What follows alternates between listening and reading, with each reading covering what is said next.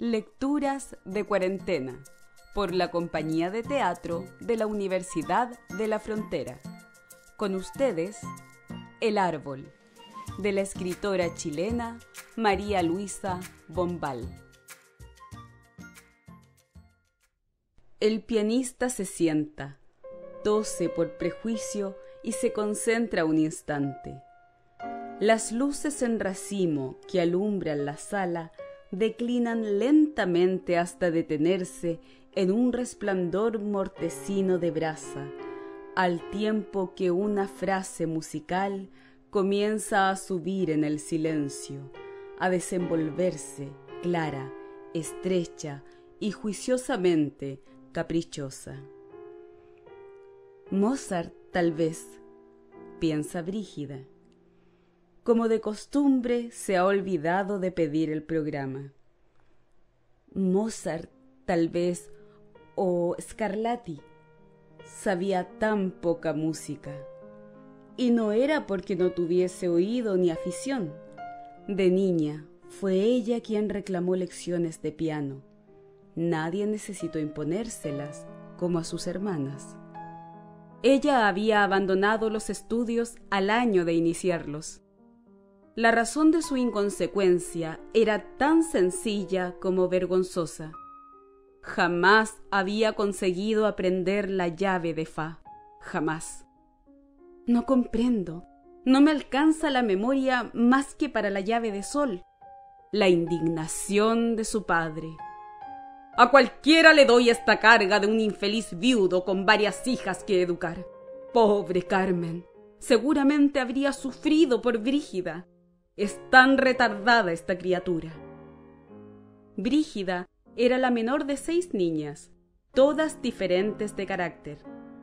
Cuando el padre llegaba por fin a su sexta hija, lo hacía tan perplejo y agotado por las cinco primeras que prefería simplificarse el día declarándola retardada. No voy a luchar más. Es inútil, déjenla. Si no quiere estudiar, que no estudie. Si le gusta pasarse en la cocina oyendo cuentos de ánimas, allá ella. Si le gustan las muñecas a los 16 años, que juegue. Y Brígida había conservado sus muñecas y permanecido totalmente ignorante. Qué agradable ser ignorante. No saber exactamente quién fue Mozart, desconocer sus orígenes, sus influencias, las particularidades de su técnica dejarse solamente llevar por él de la mano como ahora. Y Mozart la lleva, en efecto. La lleva por un puente suspendido sobre un agua cristalina que corre en un lecho de arena rosada. Ella está vestida de blanco, con un quitasol de encaje complicado y fino como una telaraña abierto sobre el hombro. Estás cada día más joven, Brígida, Ayer encontré a tu marido, a, tu ex marido, quiero decir. Tiene todo el pelo blanco. Pero ella no contesta. No se detiene. Sigue cruzando el puente que Mozart le ha tendido hacia el jardín de sus años juveniles. Altos surtidores en los que el agua canta. Sus dieciocho años. Sus trenzas castañas que desatadas le llegaban hasta los tobillos su tez dorada, sus ojos oscuros, tan abiertos y como interrogantes. Una pequeña boca de labios carnosos, una sonrisa dulce y el cuerpo más liviano y gracioso del mundo. ¿En qué pensaba sentada al borde de la fuente? En nada. Es tan tonta como linda, decían. Pero a ella nunca le importó ser tonta ni planchar en los bailes. Una a una iban pidiendo en matrimonio a sus hermanas. A ella no la pedía nadie. Mozart. Ahora le brinda una escalera de mármol azul por donde ella baja entre una doble fila de lirios de hielo. Y ahora le abre una verja de barrotes con puntas doradas para que ella pueda echarse al cuello de Luis, el amigo íntimo de su padre. Desde muy niña, cuando todos la abandonaban, corría hacia Luis. Él la alzaba y ella le rodeaba el cuello con los brazos, entre risas que eran como pequeños gorjeos y besos que le disparaba aturdidamente sobre los ojos, la frente y el pelo ya entonces canoso. ¿Es que nunca había sido joven? Como una lluvia desordenada. Eres un collar, le decía Luis, eres como un collar de pájaros. Por eso se había casado con él, porque al lado de aquel hombre solemne y taciturno no se sentía culpable de ser tal cual era, tonta, juguetona y perezosa. Sí, ahora que han pasado tantos años, comprende que no se había casado con Luis por amor. Sin embargo, no atina a comprender por qué, por qué se marchó ella un día de pronto. Pero he aquí que Mozart la toma nerviosamente de la mano y arrastrándola en un ritmo segundo a segundo más apremiante, la obliga a cruzar el jardín en sentido inverso, a retomar el puente en una carrera que es casi una huida. Y luego de haberla despojado del quitasol y de la falda transparente, le cierra la puerta de su pasado con un acorde dulce y firme a la vez, y la deja en una sala de conciertos, vestida de negro, aplaudiendo maquinalmente en tanto crece la llama de las luces artificiales. De nuevo la penumbra y de nuevo el silencio precursor. Y ahora Beethoven empieza a remover el oleaje tibio de sus notas bajo una luna de primavera. Qué lejos se ha retirado el mar. Brígida se interna playa adentro, hacia el mar contraído allá lejos, refulgente y manso.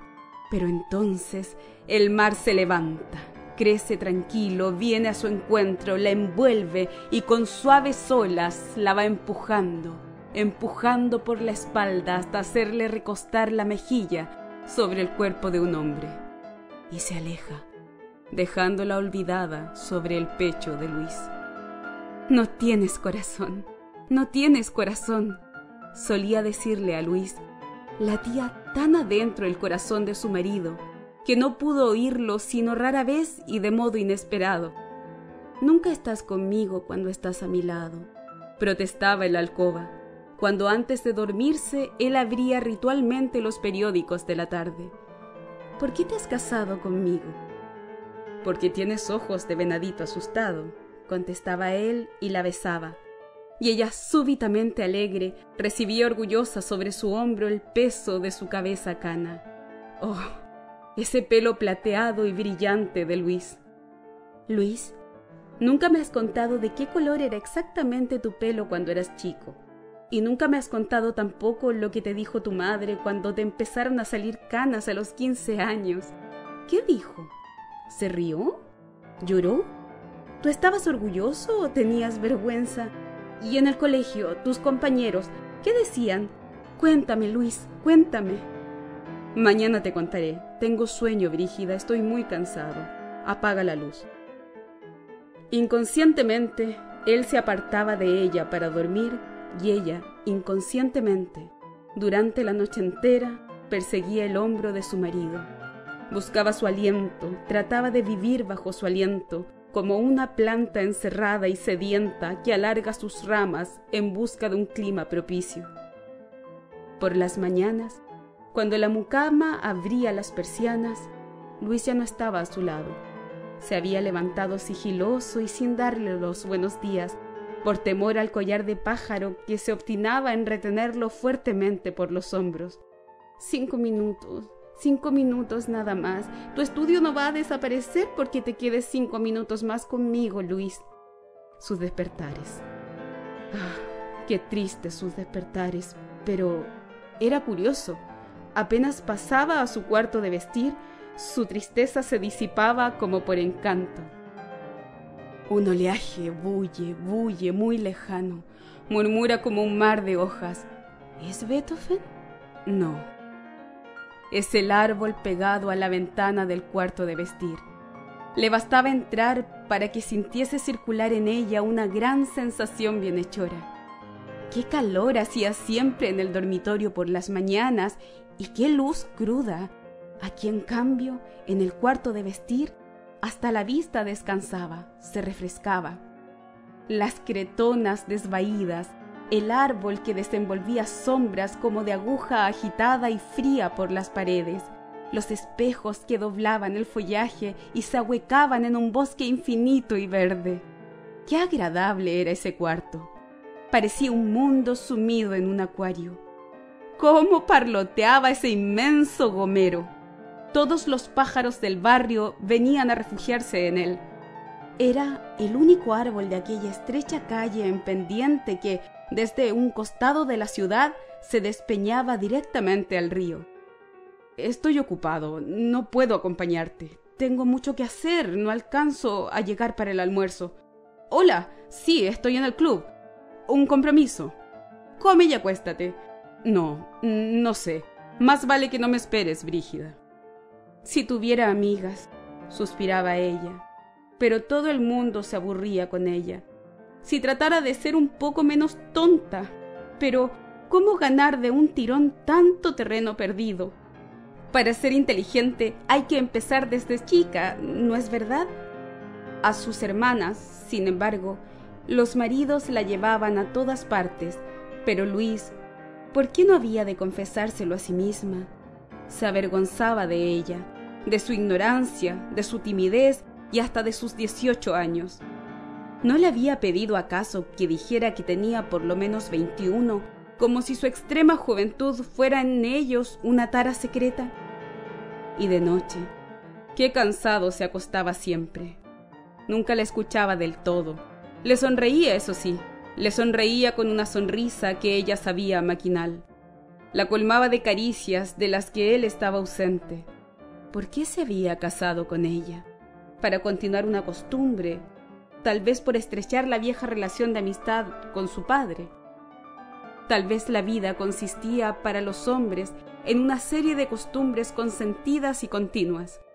Si alguna llegaba a quebrarse, probablemente se producía el desbarajuste, el fracaso, y los hombres empezaban entonces a errar por las calles de la ciudad, a sentarse en los bancos de las plazas, cada día peor vestidos y con la barba más crecida. La vida de Luis, por lo tanto, consistía en llenar con una ocupación cada minuto del día. ¿Cómo no haberlo comprendido antes? Su padre tenía razón al declararla retardada. Me gustaría ver nevar alguna vez, Luis. Este verano te llevaré a Europa y como allí es invierno podrás ver nevar. Ya sé que es invierno en Europa, cuando aquí es verano. Tan ignorante no soy. A veces, como para despertarlo al arrebato del verdadero amor, ella se echaba sobre su marido y lo cubría de besos, llorando, llamándolo, Luis, Luis, Luis, ¿qué? ¿Qué, qué te pasa? ¿Qué, ¿Qué quieres? Nada. ¿Por qué me llamas de ese modo entonces? Por nada, por llamarte. Me gusta llamarte. Y él sonreía, acogiendo con benevolencia aquel nuevo juego. Llegó el verano, su primer verano de casada. Nuevas ocupaciones impidieron a Luis ofrecerle el viaje prometido. Brígida, el calor va a ser tremendo este verano en Buenos Aires. ¿Por qué no te vas a la estancia con tu padre? ¿Sola? Yo iré a verte todas las semanas, de sábado a lunes. Ella se había sentado en la cama, dispuesta a insultar, pero en vano buscó palabras hirientes que gritarle. No sabía nada, nada, ni siquiera insultar. ¿Qué te pasa? ¿En qué piensas, Brígida? Por primera vez Luis había vuelto sobre sus pasos y se inclinaba sobre ella, inquieto, dejando pasar la hora de llegada a su despacho. Tengo sueño, habría replicado Brígida puerilmente mientras escondía la cara en las almohadas. Por primera vez, él la había llamado desde el club a la hora de almuerzo, pero ella había rehusado salir al teléfono esgrimiendo rabiosamente el arma aquella que había encontrado sin pensarlo, el silencio. Esa misma noche comía frente a su marido sin levantar la vista, contraídos todos sus nervios. ¿Todavía estás enojada, Brígida? Pero ella no quebró el silencio. Bien sabes que te quiero, collar de pájaros, pero no puedo estar contigo a toda hora. Soy un hombre muy ocupado. Se llega a mi edad hecho un esclavo de mil compromisos. ¿Quieres que salgamos esta noche? ¿No quieres? Paciencia, dime. ¿Llamó Roberto desde Montevideo? Qué lindo traje. ¿Es nuevo? ¿Es nuevo, Brígida? Contesta, contéstame. Pero ella tampoco esta vez quebró el silencio. Y enseguida lo inesperado, lo asombroso, lo absurdo. Luis se levanta de su asiento, tira violentamente la servilleta sobre la mesa y se va de la casa dando portazos. Ella se había levantado a su vez, atónita, temblando de indignación por tanta injusticia. Y yo, y yo, murmura desorientada, yo que durante casi un año, cuando por primera vez me permito un reproche, ah, me voy, me voy esta misma noche, no volveré a pisar nunca más esta casa. Y abría con furia los armarios de su cuarto de vestir, tiraba desatinadamente la ropa al suelo. Fue entonces cuando alguien o algo golpeó los cristales de la ventana. Había corrido, no supo cómo ni con qué insólita valentía, hacia la ventana. La había abierto. Era el árbol, el gomero que un gran soplo de viento agitaba, el que golpeaba con sus ramas los vidrios, el que la requería desde afuera como para que lo viera retorcerse, hecho una impetuosa llamarada negra bajo el cielo encendido de aquella noche de verano. Un pesado aguacero no tardaría en rebotar contra sus frías hojas. ¡Qué delicia! Durante toda la noche ella podría oír la lluvia azotar, escurrirse por las hojas del gomero como por los canales de mil goteras fantasiosas. Durante toda la noche oiría crujir y gemir el viejo tronco del gomero contándole de la intemperie, mientras ella se acurrucaría, voluntariamente friolenta, entre las sábanas del amplio lecho, muy cerca de Luis. Puñados de perlas que llueven a chorros sobre un techo de plata. Chopin. Estudios de Federico Chopin. Durante cuántas semanas se despertó de pronto, muy temprano, apenas sentía que su marido, ahora también él obstinadamente callado, se había escurrido del lecho.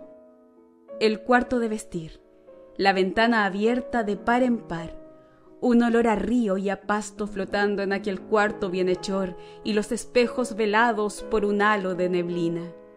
Chopin y la lluvia que resbala por las hojas del gomero con ruido de cascada secreta y parece empapar hasta las rosas de las gretonas se entremezclan en su agitada nostalgia. ¿Qué hacer en verano cuando llueve tanto? ¿Quedarse el día entero en el cuarto fingiendo una convalecencia o una tristeza? Luis había entrado tímidamente una tarde. Se había sentado muy tieso. Hubo un silencio. Brígida, entonces, ¿es cierto? ¿Ya no me quieres? Ella se había alegrado de golpe, estúpidamente.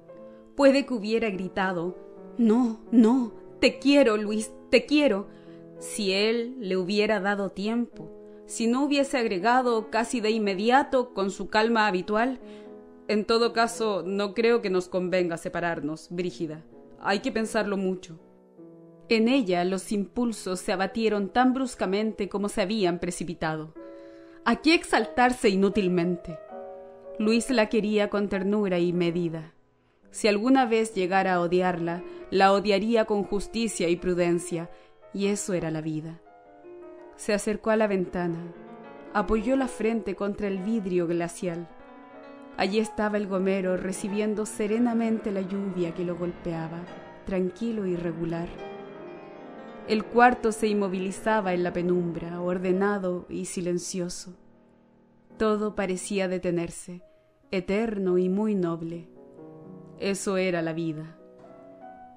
Y había cierta grandeza en aceptarla así, mediocre, como algo definitivo, irremediable, mientras del fondo de las cosas parecía brotar y subir una melodía de palabras graves y lentas que ella se quedó escuchando siempre, nunca. Y así pasan las horas, los días y los años. Siempre, nunca. La vida, la vida. Al recobrarse cayó en cuenta que su marido se había escurrido del cuarto. siempre, nunca. Y la lluvia, secreta e igual, aún continuaba susurrando en Chopin. El verano deshojaba su ardiente calendario. Caían páginas luminosas y enseguecedoras como espadas de oro, y páginas de una humedad malsana como el aliento de los pantanos. Caían páginas de furia y breve tormenta, y páginas de viento caluroso, del viento que trae el clavel del aire y lo cuelga del inmenso gomero. Algunos niños solían jugar al escondite entre las enormes raíces convulsas que levantaban las baldosas de la acera, y el árbol se llenaba de risas y de cuchicheos. Entonces ella se asomaba a la ventana y golpeaba las manos. Los niños se dispersaban asustados, sin reparar en su sonrisa de niña, que a su vez desea participar en el juego. Solitaria, permanecía largo rato acodada en la ventana mirando el oscilar del follaje. Siempre corría alguna brisa en aquella calle que se despeñaba directamente hasta el río, y era como hundir la mirada en un agua movediza o en el fuego inquieto de una chimenea. Una podía pasarse así las horas muertas, vacía de todo pensamiento, atontada de bienestar. Apenas el cuarto empezaba a llenarse del humo del crepúsculo, ella encendía la primera lámpara, y la primera lámpara resplandecía en los espejos, se multiplicaba como una luciérnaga deseosa de precipitar la noche y noche a noche dormitaba junto a su marido, sufriendo por rachas. Pero cuando su dolor se condensaba hasta herirla como un puntazo, cuando la asediaba un deseo demasiado imperioso de despertar a Luis para pegarle o acariciarlo, se escurría de puntillas hacia el cuarto de vestir y abría la ventana. El cuarto se llenaba instantáneamente de discretos ruidos y discretas presencias, de pisadas misteriosas, de aleteos, de sutiles chasquidos vegetales, del dulce gemido de un grillo escondido bajo la corteza del gomero, sumido en las estrellas de una calurosa noche estival. Su fiebre decaía a medida que sus pies desnudos se iban helando poco a poco sobre la estera. No sabía por qué le era tan fácil sufrir en aquel cuarto melancolía de Chopin, engranando un estudio tras otro, engranando una melodía tras otra, imperturbable. Y vino el otoño. Las hojas secas revoloteaban un instante antes de rodar sobre el césped del estrecho jardín, sobre la acera de la calle en pendiente. Las hojas se desprendían y caían. La cima del gomero permanecía verde, pero por debajo el árbol enrojecía, se ensombrecía como el forro gastado de una suntuosa capa de baile, y el cuarto parecía ahora sumido en una copa de oro triste. Echada sobre el diván, ella esperaba pacientemente la hora de la cena, la llegada improbable de Luis. Había vuelto a hablarle, había vuelto a ser su mujer, sin entusiasmo y sin ira. Ya no lo quería, pero ya no sufría. Por el contrario, se había apoderado de ella una inesperada sensación de plenitud, de placidez. Ya nadie ni nada podría herirla. Puede que la verdadera felicidad esté en la convicción de que se ha perdido irremediablemente la felicidad. Entonces empezamos a movernos por la vida sin esperanzas ni miedos, capaces de gozar por fin todos los pequeños goces que son los más perdurables. Un estruendo feroz, luego una llamarada blanca que la echa hacia atrás, toda temblorosa. ¿Es el entreacto? No, es el gomero, ella lo sabe. Lo habían abatido de un solo hachazo. Ella no pudo oír los trabajos que empezaron muy de mañana. Las raíces levantaban las baldosas de la acera y entonces, naturalmente, la comisión de vecinos, encandilada, se ha llevado las manos a los ojos. Cuando recobra la vista, se incorpora y mira a su alrededor. ¿Qué mira? ¿La sala de concierto bruscamente iluminada? ¿La gente que se dispersa? No. Ha quedado aprisionada en las redes de su pasado. No puede salir del cuarto de vestir. de su cuarto de vestir invadido por una luz blanca aterradora. Era como si hubieran arrancado el techo de cuajo. Una luz cruda entraba por todos lados, se le metía por los poros, la quemaba de frío. Y todo lo veía a la luz de esa fría luz. Luis, su cara arrugada, sus manos que surcan gruesas venas desteñidas y las cretonas de colores chillones. Despavorida, ha corrido hacia la ventana. La ventana abre ahora directamente sobre una calle estrecha, tan estrecha que su cuarto se estrella casi contra la fachada de un rascacielos deslumbrante. En la planta baja, vidrieras y más vidrieras llenas de frascos. En la esquina de la calle, una hilera de automóviles alineados frente a una estación de servicio pintada de rojo. Algunos muchachos en mangas de camisa patean una pelota en medio de la calzada. Y toda aquella fealdad había entrado en sus espejos. Dentro de sus espejos había ahora balcones de níquel y trapos colgados y jaulas con canarios. Le habían quitado su intimidad, su secreto. Se encontraba desnuda en medio de la calle, desnuda junto a un marido viejo que le volvía la espalda para dormir, que no le había dado hijos. No comprende cómo hasta entonces no había deseado tener hijos, cómo había llegado a conformarse a la idea de que iba a vivir sin hijos toda su vida.